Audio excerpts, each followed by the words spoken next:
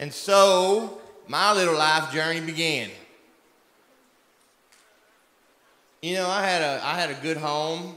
I had a good mom and dad. My mom was a secretary at Redland Baptist Church ever since I was in elementary school. So I have nothing in my past to show you of why I became what I became. Did you know that music stimulates your mind more than sex? You know you can listen to one song and it change your entire mood?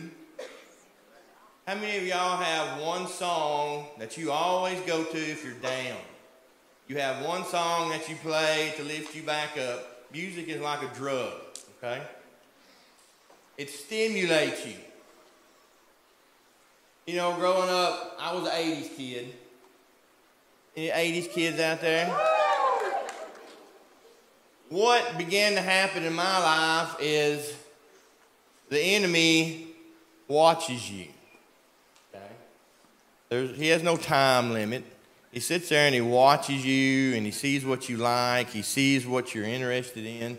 And from a very young age, I can remember in seventh and eighth grade, growing up, the metal scene always just enticed me. Uh, growing up, you had Dio, you had Motley Crue, you had Ozzy, you had all these metal bands, and you start listening to what they say, and, and it, it just started sucking me in. I liked that look. I like leather. I like studs and spikes. I like fire. So everything that I was watching and listening to, you know, I can look at this shout the devil now and it just kind of makes me giggle. Because that is nothing compared to what the enemy's doing nowadays. It is absolutely, I told Josh, I said, I have changed this testimony or these videos about 12 times because I would, I would start doing this stuff and I'd be like, oh, they can't see that. Y'all would literally throw up in here. I'd be like, well, I can't show them that. I can't show them a Cannibal Corpse video. I can't show them a Venom video. I can't show them a Slayer video. Because in the metal world today, they are actually doing satanic rituals on stage. That is a long way from when I grew up, guys. He started conditioning me with imagery and with lyrics. Okay? If you'll go back to the earliest times of Motley Crue, they always wore a pentagram right on their forehead. Tommy's Lee drum set had a pentagram on the front of his drum set. Okay? They start slowly bringing into you this satanic imagery until you accept that. Oh, that's cool. I can remember my mom telling me, John, that's the devil. No, mom, that's cool. Okay? So you start you start molding yourself around what you see because words bring life or death, right? And so when you start listening to this music, you start bringing in this negativity into your life. And then it happened. The song that changed everything. That is actually not, that's mild. Guys, that group is called WASP. And WASP stood for We Are Sexual Perverts. Uh, from the very night, I don't remember if y'all can remember back in the 80s, they had a thing called Headbangers Ball. And I can remember laying in my bed with headphones on, and that actually wasn't the right song, but we're going to give Andrew the benefit of the doubt. Because he is awesome. Uh, I'll let him play it in just a second. The song was called I Want to Be Somebody. And listening to that song in my bed, the hair on my back stood straight up, and you can actually feel the presence of evil. And it just enticed me to the point where the next day, back then, we had what's called record players.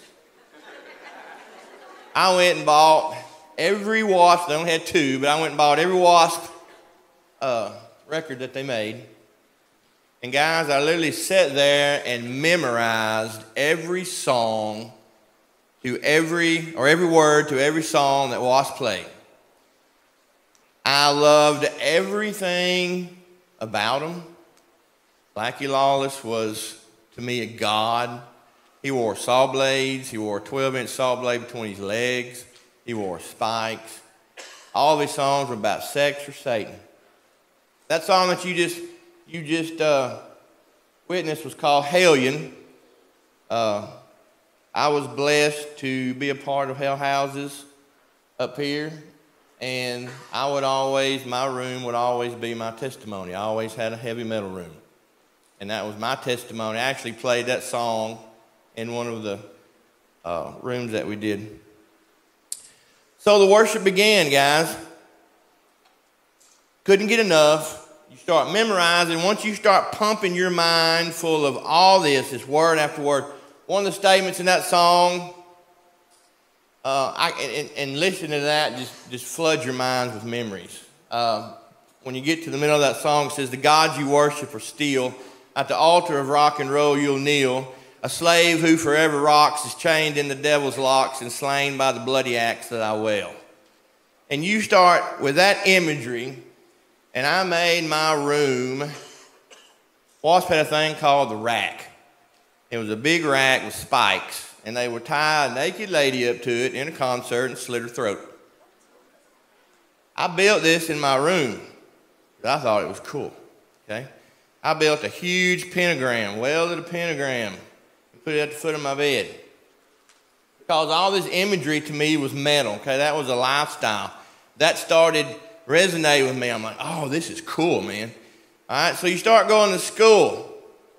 One of the things that happened in school, and this was a freak, I was in ag class, sitting upstairs, and everybody knew I was a metalhead. And I was sitting there, and I happened to look over, and I saw the wind catch the door, and the door was finished shut. And so I stood up, and I said, In the name of Satan, shut. And the door slammed shut. And, buddy, from that moment on in high school, I had a reputation of the man. People would get out of your way when you walked down the hallways. People were just like, oh man, John is this, John is that. So you gained a, type of respect. It was a weird kind of respect, but you gained it. You gained a reputation in school. In the 10th grade, I met whew, my first wife.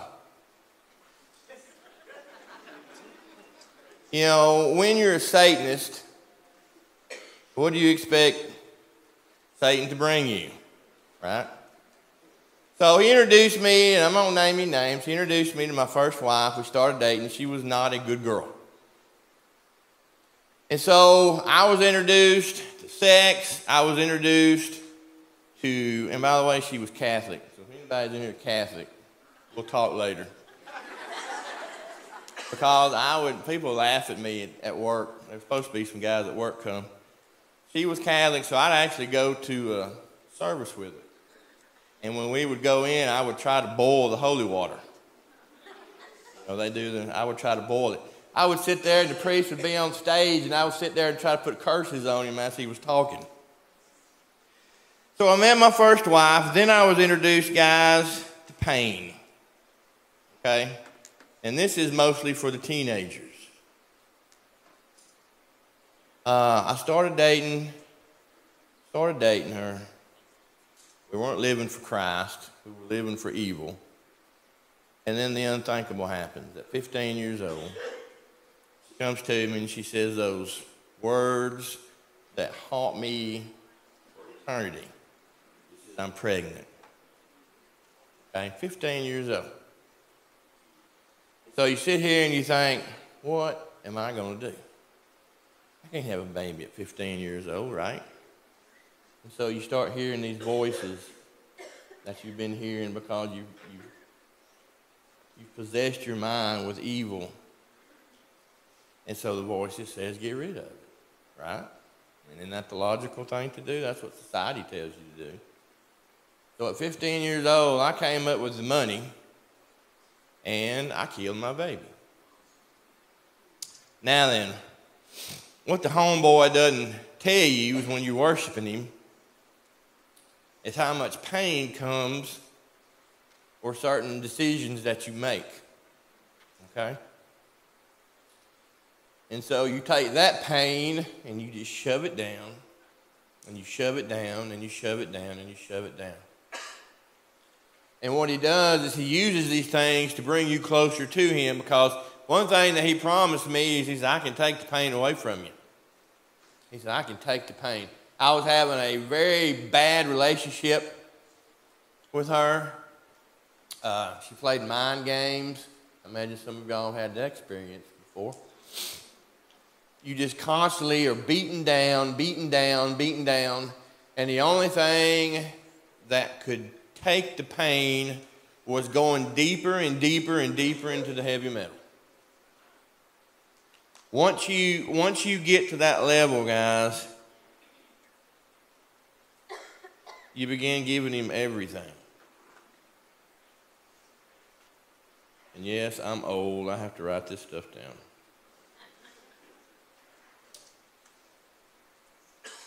As my life spiraled out of control, I met, we got a divorce. Uh, I met my second wife. I thought, hey, you know, this is it. This is pretty cool. I had two awesome girls. I've got Tommy and Brittany back here. Those are my little girls. I'm like, hey, there's actually a life that's normal. And so we tried to make it work, and you try to push all that aside. And, and, every time something bad happens, it comes right back up, and you go right back and go. I could go right back to that song, Hellion and it would literally put you in a trance. It would, it would just make you numb where nothing mattered. The pain would, would go away for a little while. As I met her, we were married for almost 11 years. And then we separated. And I'll never forget trying to make everything work, and you get these papers handed to you where it says, you can only see your kids on this weekend, and you can only see your kids on this Wednesday.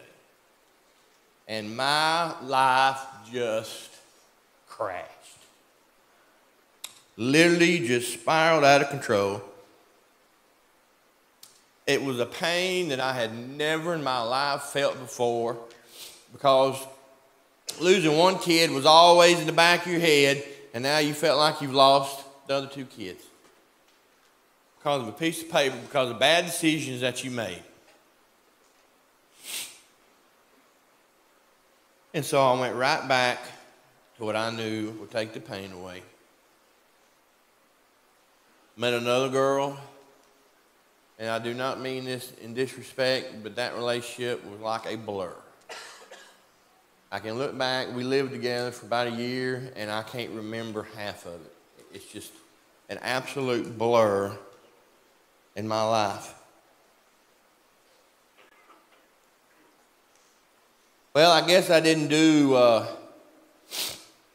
I don't guess I did what he wanted me to do because you hear these voices. And it was, you're not worthy. It's, it's just going through Hell House, you know, guys. People that have gone through this stuff, I've had people tell me, man, they should have named that, you know, so and so Hell Life. And you can go through here, and I can sit there and I could watch the demons play, and it's awful funny, isn't it? Everybody wants to be demons. Have you noticed that in the church? Everybody wants to be a demon. Everybody wants to be the bad guy. Y'all supposed to giggle with that.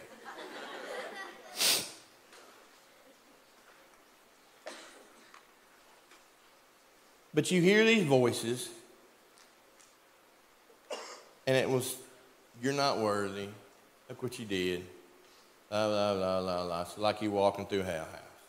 You hear all these voices in the back of your head. And I couldn't handle it anymore. Everybody has a breaking point. And I guess I had reached my breaking point, and I'll never forget this. I was sitting in my living room. I went to the drawer. I got a 1911 Colt out, chambered around. Stick it in my mouth, and I start pulling the trigger because you're like, I cannot handle this pain anymore. And as I'm squeezing the trigger, this in my I told Josh, I said, I've heard a, a voice in my head three times in my life that I know was God. And this voice was like somebody standing right behind me, and he says, Are you ready to listen to me now? And it was like somebody was in the room with me, and I pulled the gun out of my mouth, and I turned around and I said, What? and says, Are you ready to listen to me now? And I happened to look up on the mantle, I had a fireplace, and I look up on the mantle, I see a picture of Tommy and Brittany. and this overwhelming peace just fell completely over me. And I said, Yes, I am. And at that moment, I gave my life to Christ. You know, what do you do? I grew up in the church. Right? Like I told y'all before, my mom was secretary at Redland Baptist Church. Church did nothing for me. You, you, you just go to church, see your friends, and you go home, right? And so I didn't know what church was supposed to be like. So I gave my life to Christ. I was like, oh my gosh, I like heavy metal. What am I going to do? I can't listen to this stuff anymore. So I go to Christian Words. Here it comes. I go to Christian Words and Works. And I meet Wes. Y'all know who Wes is, right? Everybody give it up for Wes.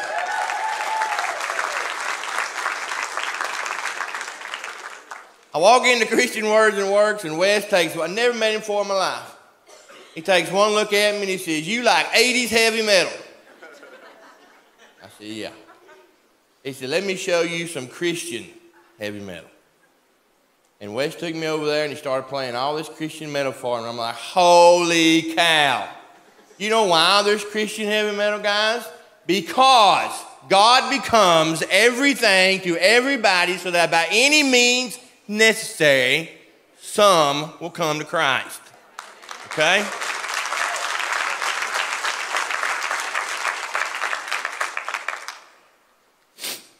I uh, got my life back on track, right? I started praying. I started going to church. The church was struggling. Uh, I just, I dove in to everything I could. I'll never forget it.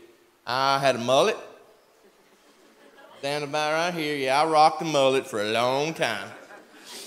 High top shoes. I drove a 78 T top gold Trans Am. I drive up to the church one day and a kid comes out there and he says, Mr. John, you are cool. And I said, ding. I went straight to the pastor, Brother Ty. I said, I don't know why I'm supposed to tell you this. I said, but I want to work with the youth. He said, Do you think you can win souls? I said, I'll do everything I can. He said, Do it. And Fear Factor Youth Ministry was born. I was a youth pastor at Redland Baptist Church doing Fear Factor Youth Ministry when Josh Pogue was youth pastor up here. And they actually came to a couple of my Fear Factors that we did. Guys, I dove in, okay? Uh, back then we had just the piano and the organ and so forth, and I just kept feeling led to, to, to do something like y'all had. But we didn't have anything. I said, all right. I said, God, I said, show you how bad I want. I said, I'm going to learn how to play the drums. And so I went and bought a CD. I went to a garage sale, bought a $100 used drum set, and I practiced for six hours every day until it clicked. I said, All right, Lord. I said, I got a drummer. We prayed and we prayed, and about two years went by. And I'll never forget, come out of Sunday because I was teaching Sunday school, I had youth. I come downstairs, and Brother Ty walked up to me and he said, John, here's Chuck Hayner. He's a singer, a lead guitarist. This is his son. He plays the bass. He said, You got a praise band. Just like that. And guys, we dove in and we dove in. And I tried everything I could do. I was so pumped. I was serving the true king. Right? Until the church.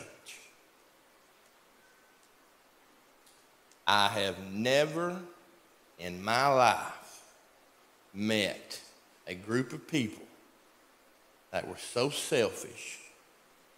My way or get out.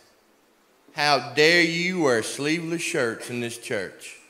You walked too fast down the aisle. You said that word on stage.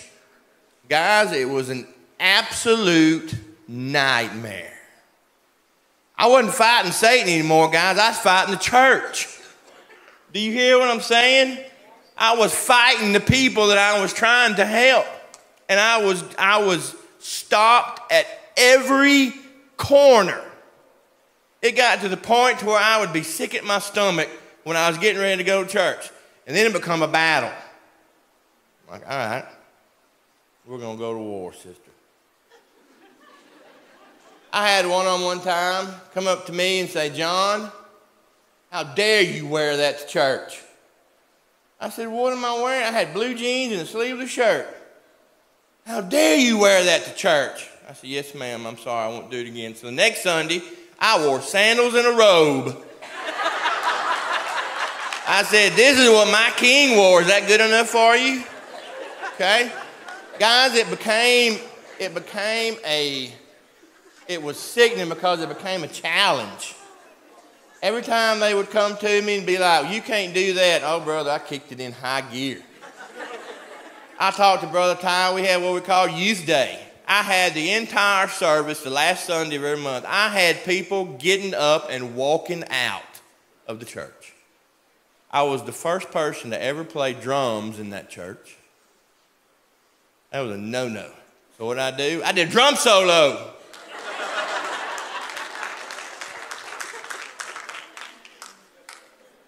I have a warning. Be careful, Christians, of how you treat new Christians. Okay? This is coming from experience. We have done more damage to society than Satan ever will.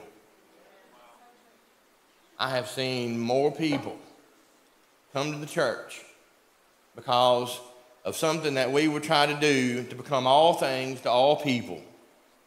And we would get people in the church, and the Christians would run them out.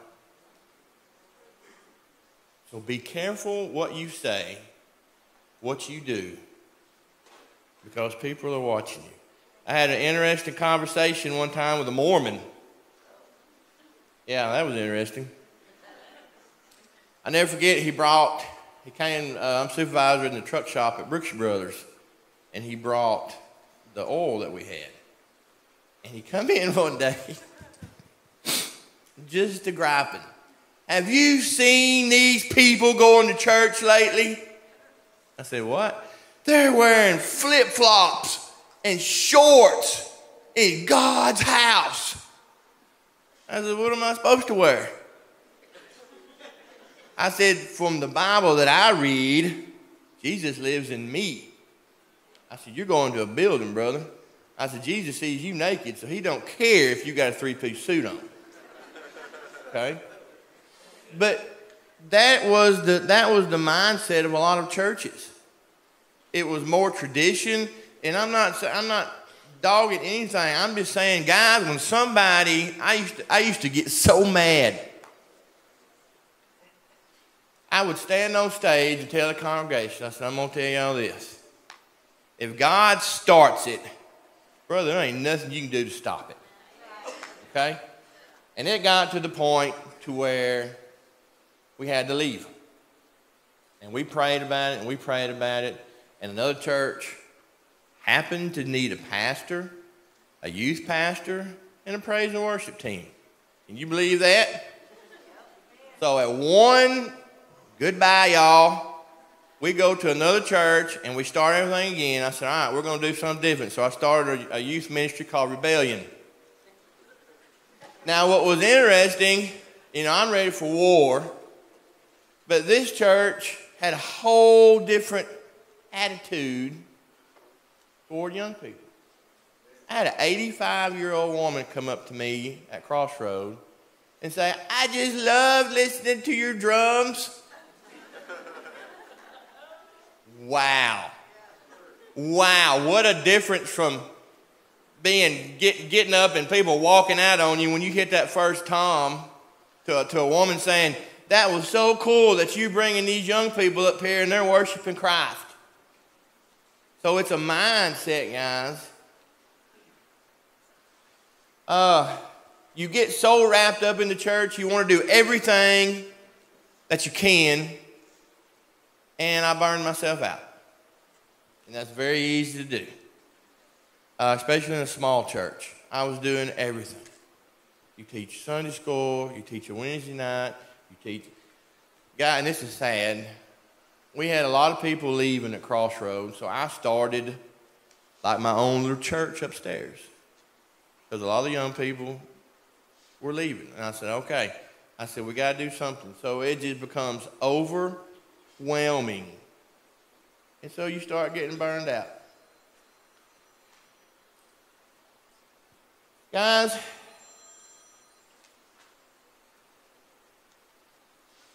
there is an evil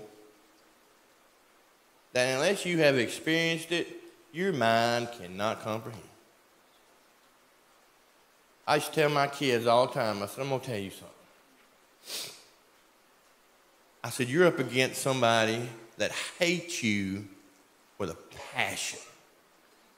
Hates you, hates your siblings, hates everything about you, and his number one goal is to destroy your life.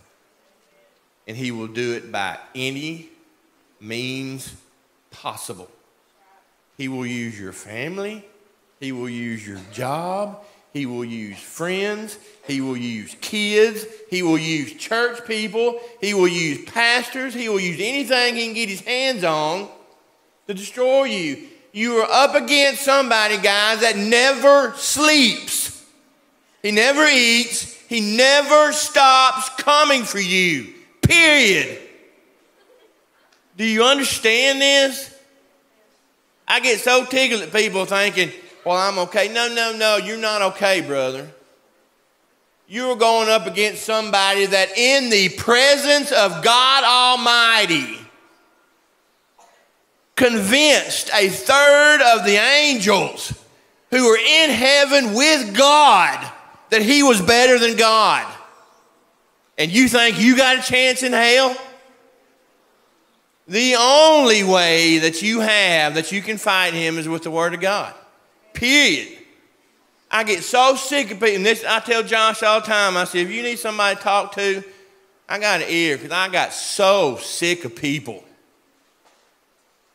I get so sick of people's attitude. Well, God will understand. No, God don't have to understand. Okay? God doesn't have to understand anything. God doesn't need you, you need God. God says, I'll call the rocks to worship me. I don't need you. And people have this, well, I just don't believe in the Bible. No, ma'am, you don't believe in the Bible because if you believe in the Bible, that means you're accountable. Right? They did an experiment, and I laughed. They did an experiment one time. They put people in an elevator. And as the elevator was going down, the lights would go off, and when the lights come back on, there'd be a little demon kid standing in the corner. Just stand there. Of course, you see these people's reaction. 99.9% of everybody in this room did this.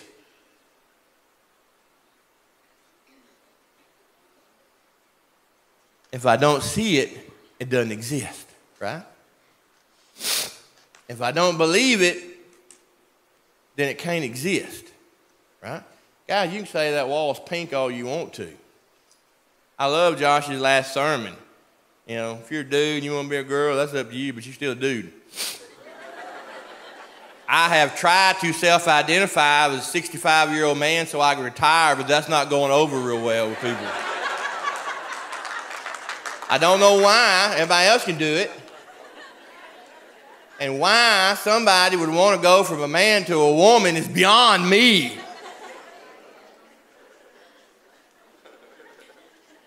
Guys, once I got my life straight, I wrote a letter to God. People think it's retarded. I wrote a letter to God. I said, Dear God, this is what I want in a woman. I want her like this, this, this, this, and this. I laid on my bed and I prayed over it. I said, if you want me to be with somebody, you bring her to me. Because I'm through looking. I've had four, now I'll turn to poop. I said, you bring her to me. And until that day, I said, I will serve you with everything I have and I will do everything I can to bring somebody to Christ.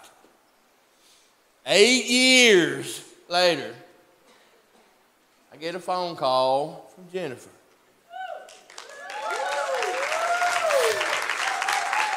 She said, "Hey, she, you know, she was coming up here, so I didn't hold that against her."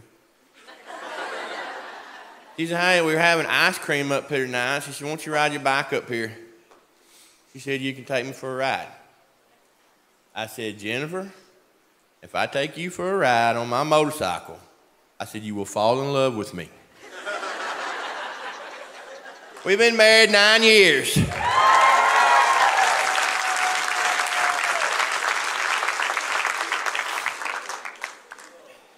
Best thing ever happened to her.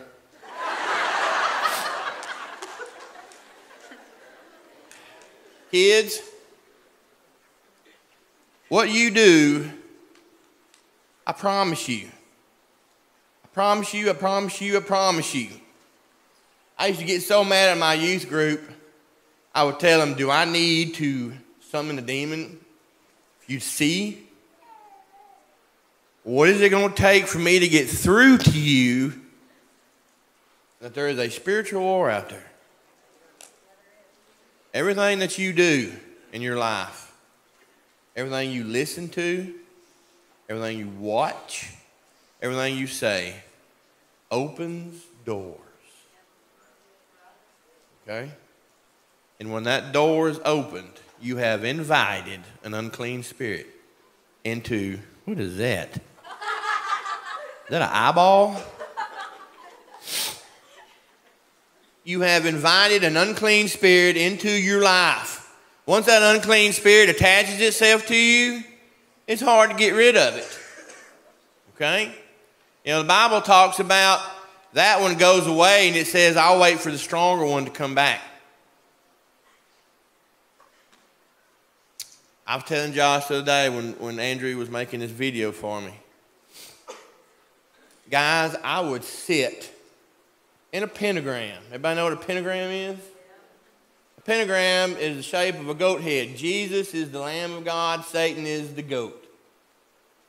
Okay? Satan wants to be everything like Jesus, just like that concert I showed you. Satan wants to be worshiped. That's his ultimate goal is to be worshiped. People look at me and be like, dude, you worship Satan? I said, dude, so did you. What? I said, when did you become a Christian? Oh, about a year ago. I said, guess what, brother? Guess who you worshiped until you gave your life to Christ? The only difference is, is I knew who I was worshiping. I called out to his name. I would sit in a pentagram in my room saying the Lord's Prayer backwards because that's what Satanists do. Playing that song, it would go into another realm just to ease the pain. And one day I got to thinking, why was I never possessed? I believe in possession, guys. You can't tell me when I owed all these shootings and stuff. When people go in and shoot places and then Satan removes himself from them, they realize what they did, so they shoot themselves because of the guilt. I 100% believe in possession. And I always wondered, I said, why was I never possessed? I didn't ever kill anybody. I killed an unborn. I said, why wasn't I possessed? Guys, it was about four to five years after I gave my life to Christ. And I did a skit on this at Crossroad one time. I gave my first testimony, and my mom came up to me, who was an absolute devout Christian woman. She said, You didn't know I used to pray for you, did you? I said, What? Guys, my room was the epitome of evil.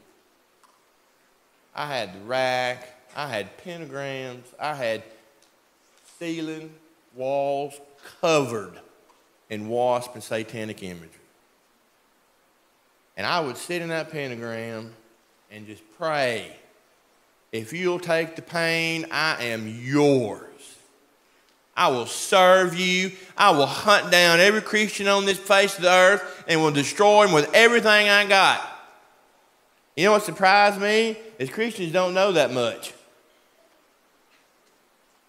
That's actually sad. Christians do not know why they serve the God that they serve. I would go at Redland Baptist Church and ask people, why do you go to church on Sunday? Why do you do what you do?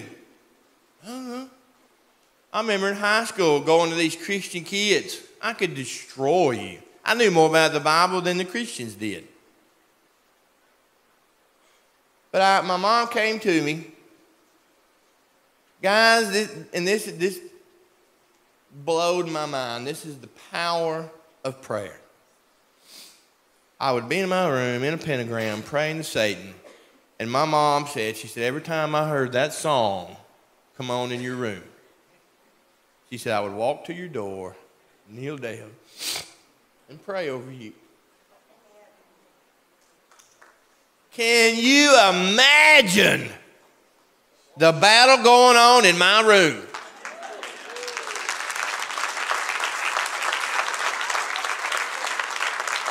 Man, I'm sitting there giving Satan absolute authority to take me over. My mom is saying, No, you can't. And I just, I would sit there at night sometimes, and when I go to heaven, that's the first thing I'm going to ask Jesus is, Can I see that day? Can I see one of those days in my room in the spiritual warfare that was going on? It would probably like a kung fu movie. it would be absolutely amazing. Guys, you don't have to worship Satan. You don't have to be a heavy metal. You don't have to be a Satanist. You don't have to be on drugs. You, you never heard that in my testimony. I wasn't an alcoholic. I wasn't a drug. Yeah, I drank, got drunk. I smoked weed like cigarettes. But that's not what it was about. It was about power. It was about seeing something that took the pain away and you latched onto it. You don't have to do all that. All he has to do is keep you away from the Word of God. That's it. And he's doing a very good job of it. Satanism is one of the fastest growing religions out there, other than witchcraft.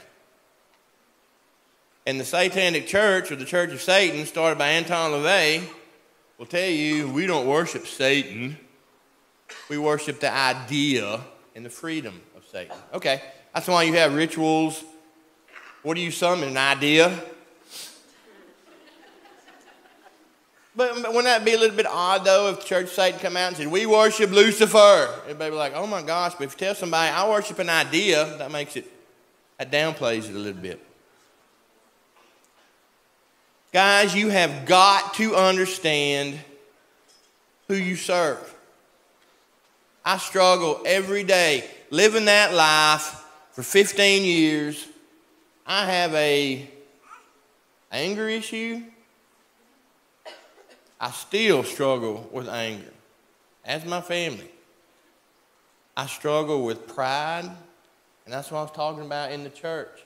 Even in the church, he uses people against you, He uses you. I got very prideful at being a youth minister, at being able to do all this stuff, okay? We did the first seven years of Hell House up here. They called me and Jennifer back. I screwed that up royally because of pride. How dare you tell me how to do this? And it took a year for God to humble me to the point where He's like, they don't need you. And so I came back. I apologized to everybody. I apologize to Josh.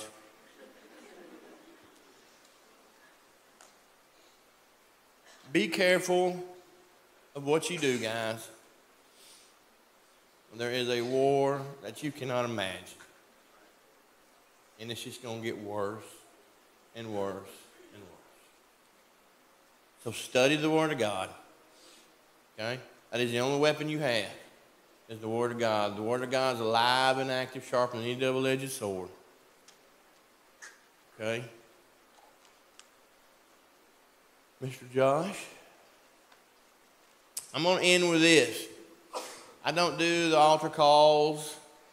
People just don't like coming up to me for some reason.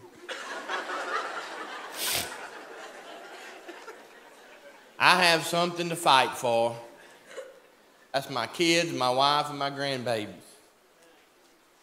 And I will fight with everything I have.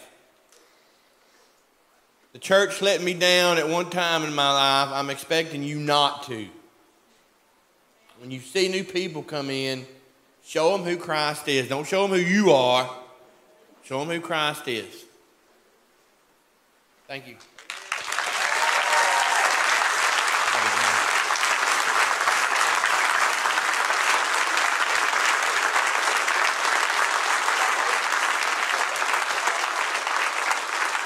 Hey, would you stay standing? I want to invite our, our uh, worship team to come and join me on the stage real quick.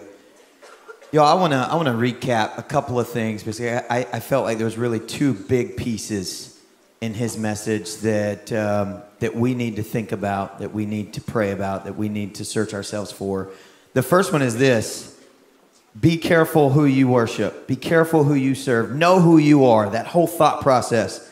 Listen, your music that you listen to, the things that you watch, the things that you read, the things that you allow to come into your mind, a lot of times God will bring a message like this so that we can clear out things in our life, so that we can evaluate our life and get rid of things in our life that we know that the Holy Spirit's been dealing with that we need to get rid of and they need to go. For some of you, that might be your music. For some of you, you need to shut down your Facebook. For some of you, that's Netflix. Whatever that looks like. If you don't have enough self control to get the things out of your life that, that, that God is asking you to get out of your life, then you just may need to shut something completely down. But I believe the two pieces that, that, that God is, is, is shooting at us, is hitting at us through John's testimony is number one, you need to know who you serve and why you serve them. And then stop yourself from serving someone without you even knowing that you're serving them through allowing junk in your life. I believe today that we need to release some things and give them to God. And then the second thing is this this is to the church. Don't be you, be me. I thought that was so good. God is bringing people into our church for us to love and for us to show the way and for us to be Jesus too. And if we don't do that, we are failing Him. That's huge, yo. So I think that maybe, maybe we need to repent. I think maybe we need to repent. I don't know what that was. Satan's trying to infiltrate the church, yo. I'm just kidding. Altar team, would you come and come up to the front? Here's what we're going to do we're going to sing a song. If you're here today, if you're here today and you know that there are things in your life that you need to give up, then I'm going to ask you, would you be obedient to the Holy Spirit? And would you come and either get the pray that you, the prayer that you need, or come and find a place where you can gain the strength that you need by your alone time with God, and ask Him to help you as He is calling you to give these specific things up? The second piece is if you're here and you need to repent, because you've been too religious or because you've been too full of yourself or because you got pride issues and you've allowed your pride to hurt people, then I want to invite you to in just a minute. Don't hold that in. Get rid of it. You'll feel so much better. Get rid of it. Repent before God. So, with every head bowed and every eye closed, if you need to get something out of your life, if you need to repent and ask God to help you to be Him, or if you need prayer for anything, in here today, if the Holy Spirit's dealing with you, if He's drawing you, if He's pulling you, right now, as we sing this song, would you step out and come? Come find someone to pray with you. They would love to. Or come and find a place where you can pray with God, where you can go to God and allow Him to do a new work in you. Come on, right now. And if you want to step out and come to the front and worship, would you step out and come right now to the front? Let's worship the Lord and let's allow God to do a supernatural work inside of us today.